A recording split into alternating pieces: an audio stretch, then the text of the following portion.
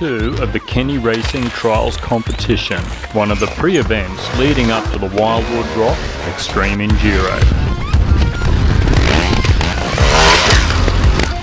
In the first part of the trials competition, the riders faced one of Wildwood Rock's gnarliest, longest hills, and now the riders pit themselves against the obstacle course in incredibly windy conditions.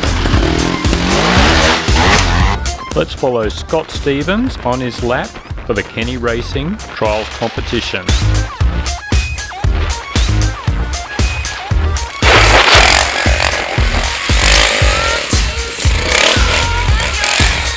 This course is actually part of the prologue track used for the Wildwood Rock Extreme Enduro and consists of logs, tractor tyres, a bus and other man-made obstacles to test the skills of the trials riders.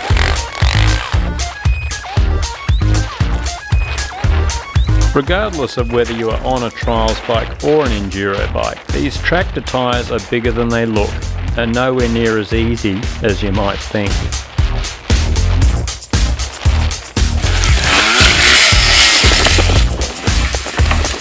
Trials junior David McDonald had impressed the crowd with some great riding in the hill climb, and he turned it on again for this obstacle course. God knows how good this guy is going to be once he hits his teens.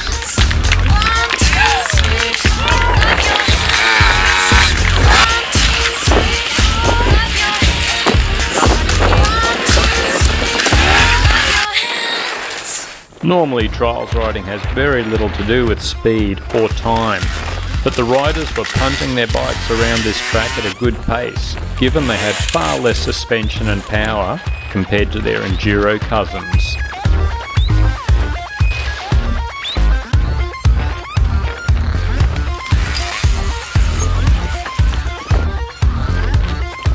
As trials riders are wont to do, the end of the competition was time to mess around on these ultra lightweight bikes, and of course, the opportunity to see if the course can be ridden in reverse.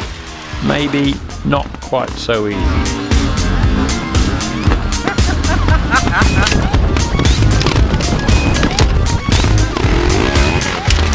Here are the overall results for the Kenny Racing Trials competition.